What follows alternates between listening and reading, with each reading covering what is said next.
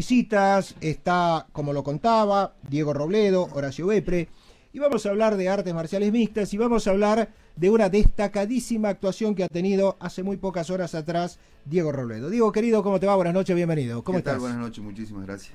Bueno, ese, ese pequeño moretón acá en el ojo, digo, es producto del viernes. Es producto del sábado. Del sábado, perdón. Eh, es. pr- producto del sábado.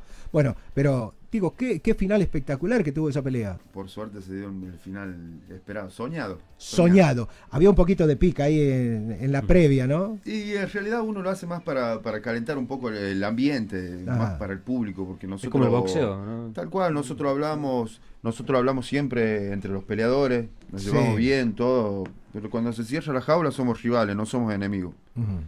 Terminó la pelea, abajo de la jaula. Podemos ir a tomar algo, todo- respeto, todo bárbaro. Totalmente. Todo bárbaro.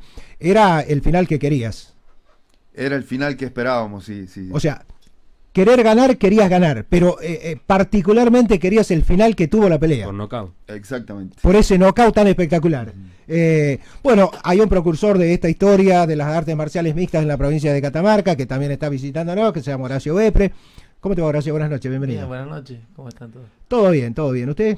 Bien, bueno, acá de, mm, ya sin voz, porque después de la pelea del knockout que tiró Diego esa noche, me quedé sin voz de tanto de festejar, digamos. Había, había que, que gritarle al, al mundo, ¿no? No, sí, sí. Te- Horacio, Bueno, te pone, te- te tengo pone una- contento estas cosas. Muy contento, pero de sobremanera.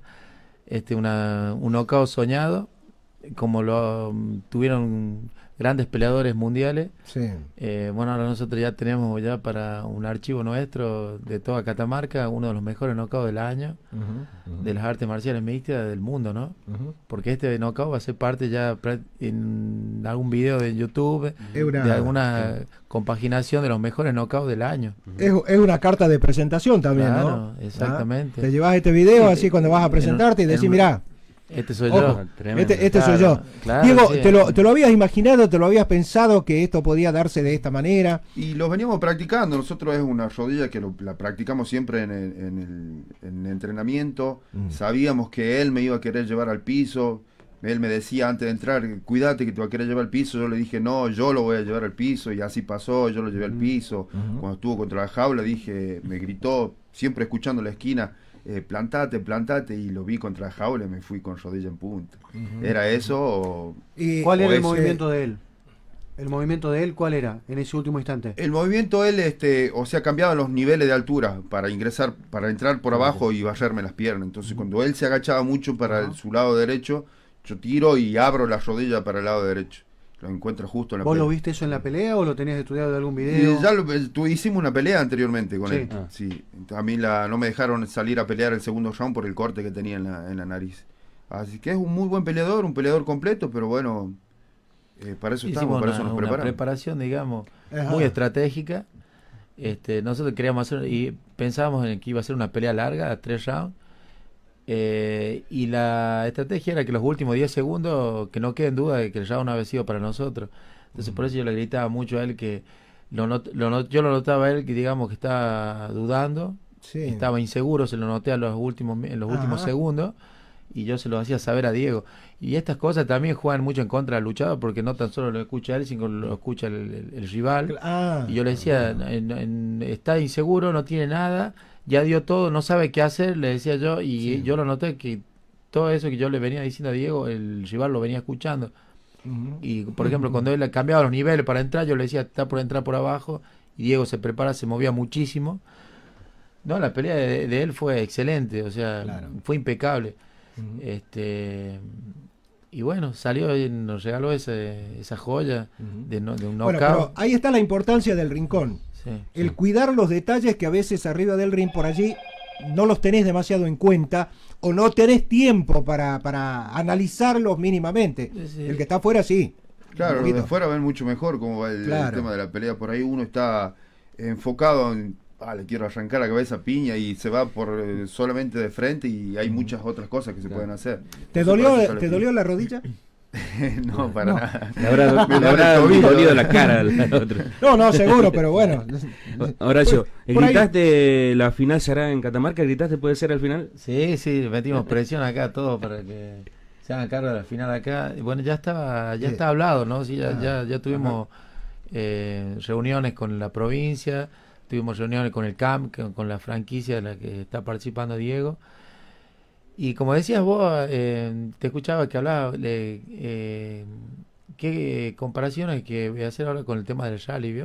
Porque le, le contaba en Buenos Aires que la, eh, el público catamarqueño es un enamorado de los fierros.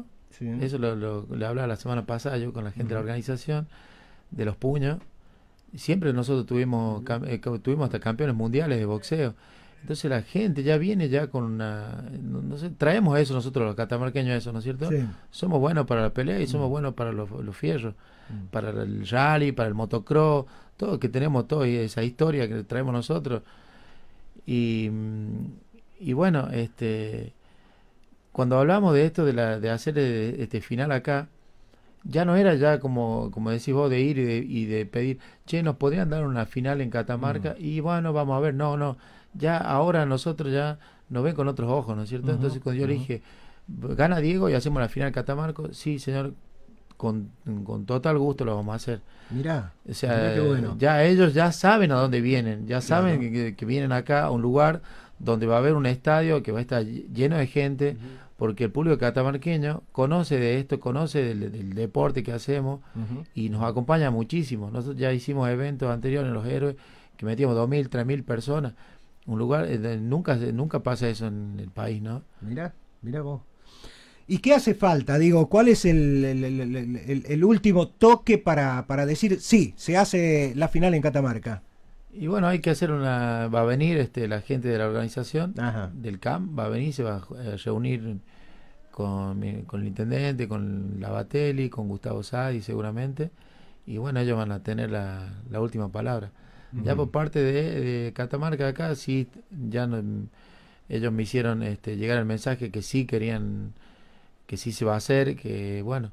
Es como una pareja que los dos se gustan. Y nosotros ya cumplimos, así que falta Claro, que totalmente. bueno, Claro. junten ellos. ¿Qué, qué significará poder eh, salir acá a un polideportivo lleno? Porque terminó esto, Diego, festejaste, te abrazaste con tu familia y en la cabeza, imagino, ya, ya empezaste a pintar cómo puede ser eso. Y yo quiero curarme del pie que tengo inflamado el tobillo para comenzar a entrenar. Ajá. Eh, primero eso y de ahí es impresionante acá como la gente nos sigue por suerte y el polideportivo eso va a explotar. Sí, explotar. just- justamente la, la academia a la que va a pelear este ahora la final con Diego, que se quiere el chino Richie, ellos normalmente tienen una particularidad de ellos que llevan muchísima gente en Buenos Aires Mirá.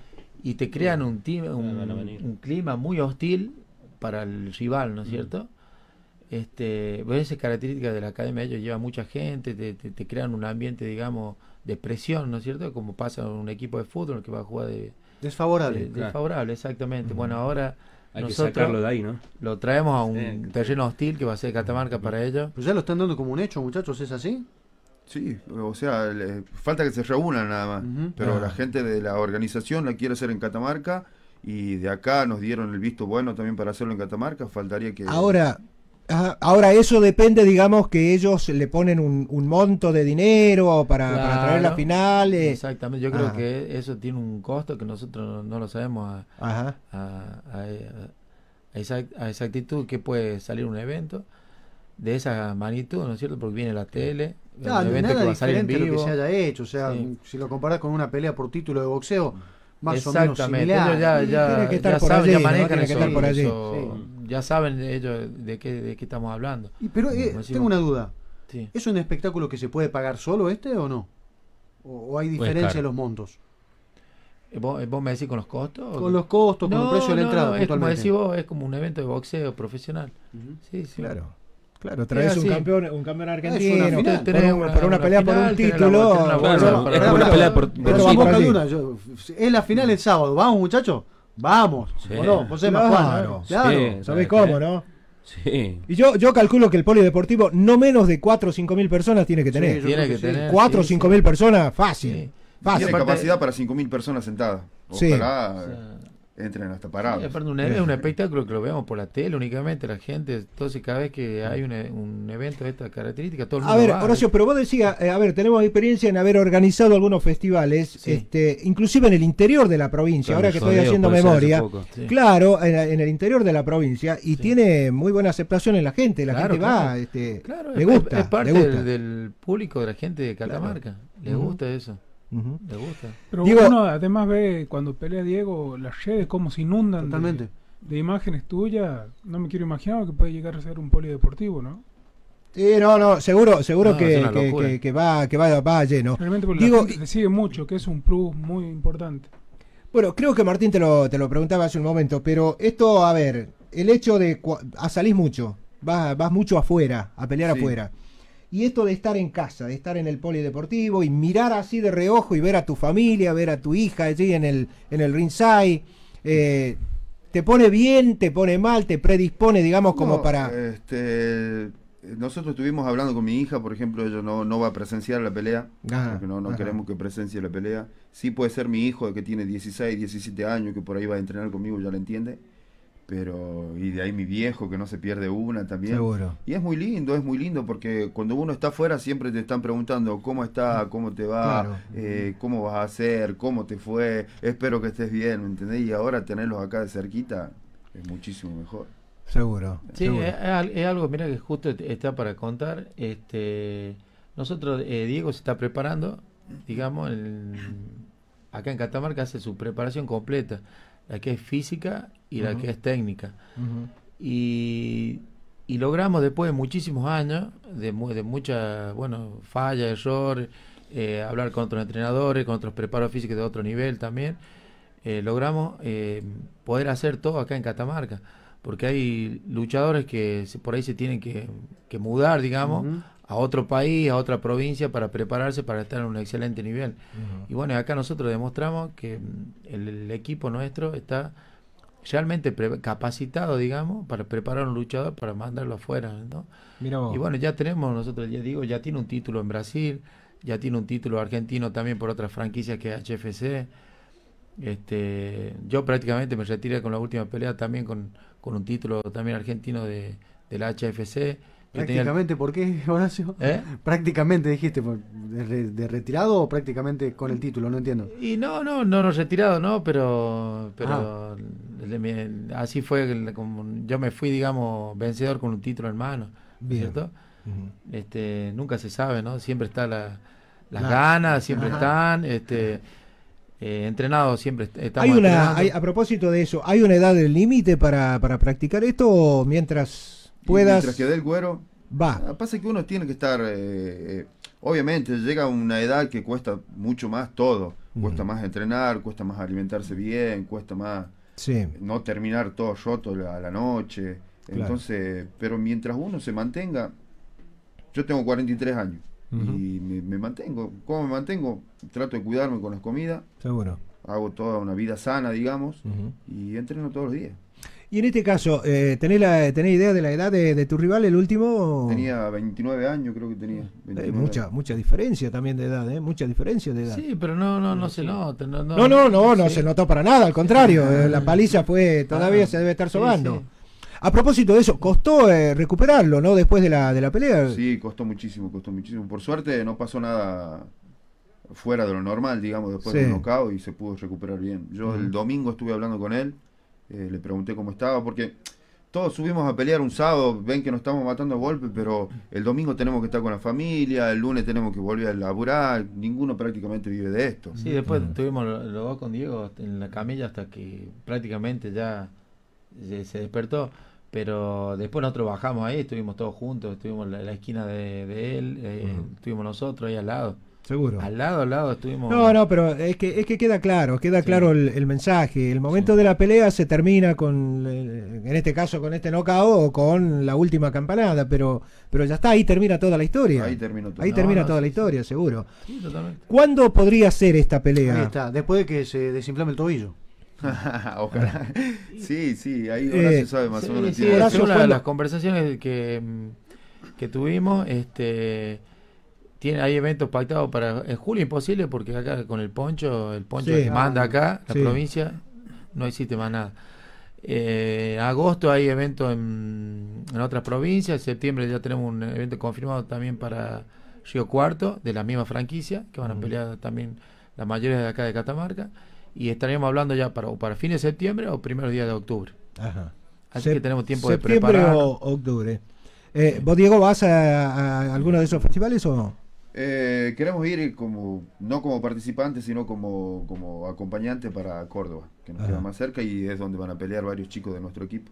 O sea, vos ahora, hasta esa pelea final. mm, Por ahora no tengo nada. No, no tenés No, nada. pero- y, y si sale algo, lo, lo No, agarrás Diego tiene que cumplir con, eh, con un compromiso, digamos que ahora estamos todos, eh, eh, vamos en camino a, a buscar ese final. cinturón. a la final. No tenemos otra cosa más que pensar en eso. Ajá. Y Diego tiene que cumplir con una dieta que también eh, el- la maneja el equipo, eh, con una preparación física que también la manejamos nosotros y bueno, con todo el apoyo, digamos, de, de, todo, de todo el equipo y toda su Seguro, familia. seguro. Y eso lo tienen que hacer todos los días. La, la última, no es mucho tiempo, digamos, por ejemplo, que se diese la pelea en el mes de octubre. No es mucho tiempo desde acá hasta octubre. No, porque está una, bien. una preparación para, para subir a pelear eh, son do- dos o tres meses. Bien. Es lo que lleva a prepararse para mejorar un nivel, ¿no?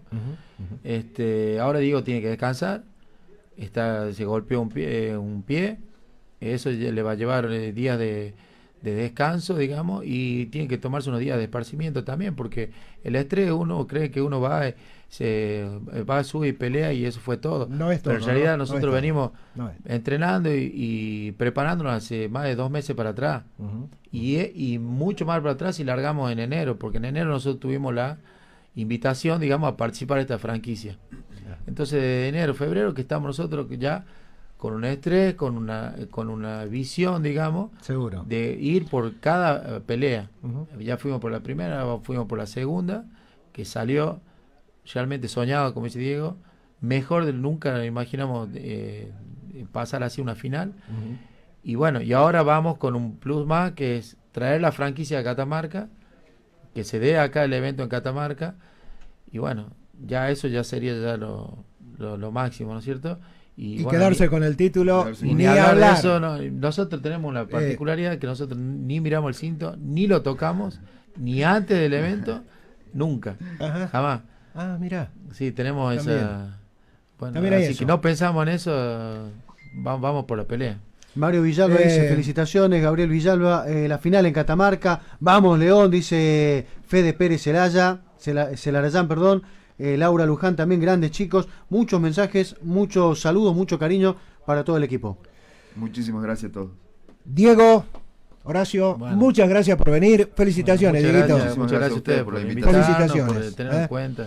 Vamos a seguir haciendo fuerza, ya lo vamos a invitar. Cualquier día de esto lo vamos a invitar de nuevo, así Bueno. charlamos un rato más, nos cuentan alguna otra cosa, nos, Nos queda- traen alguno nos de queda los un camino largo para prepararnos, para, prepararse y para toda la historia. Y preparar la estrategia para pelear a Richie. Seguro. Y ojalá, ojalá.